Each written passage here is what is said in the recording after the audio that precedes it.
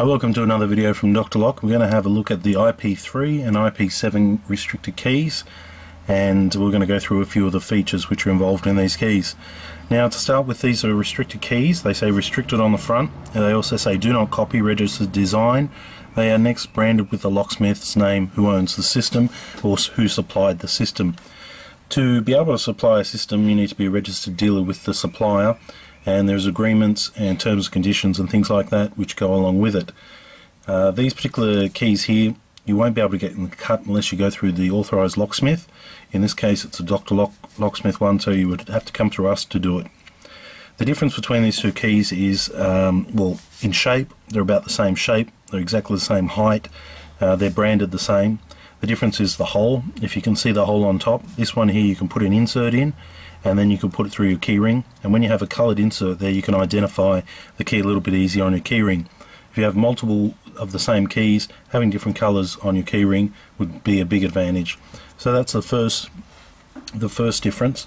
Often as the key progresses over time they generally do more modern things to the keys, um, different shapes, um, the inserts and so on and so forth. So as the, as you purchase a more modern product you do get different benefits uh, which weren't previously on older keys. IP3 is uh, one of the older ones, IP7 is one of the newer ones. The newest one out there on the market is IP8 and one of the oldest ones I believe is IP1. So it starts off 1, 2 and goes all the way up from there. They're registered design which means that um, if you were to make this design of key you would be in breach of copyright or trademark whichever one applies to it this is limited for a particular amount of time, I think 10 or 15 years.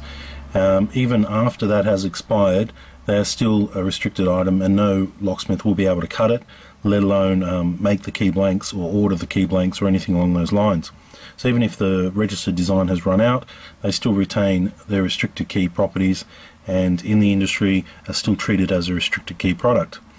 Flipping over the key now, looking on the back, you can see uh, IP3 stamped here, IP7 stamped here.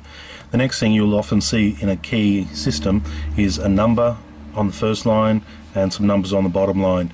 This is your system number.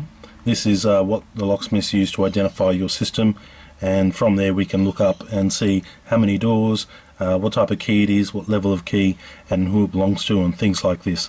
So the number stamped on the back of your key in this spot is very critical and when ordering is very important.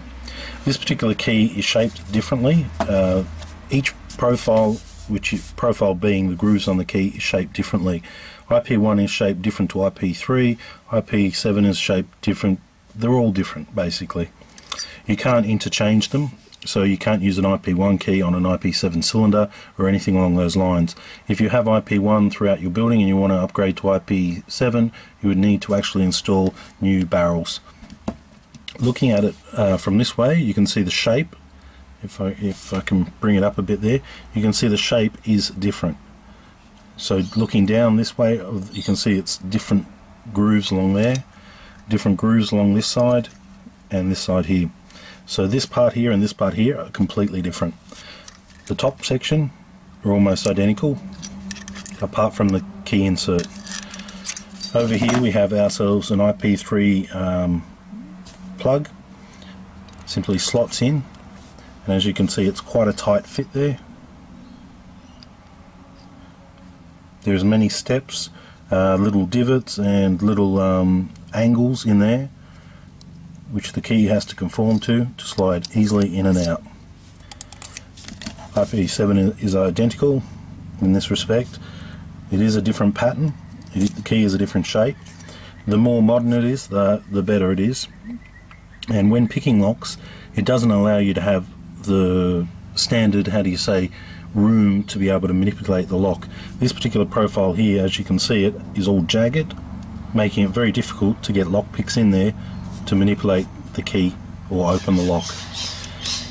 Okay so that's basically the, the difference between IP3 and IP7 uh, we could show you IP1 all the way through to 8 but there's no point because it's basically to show you there is a there is a difference.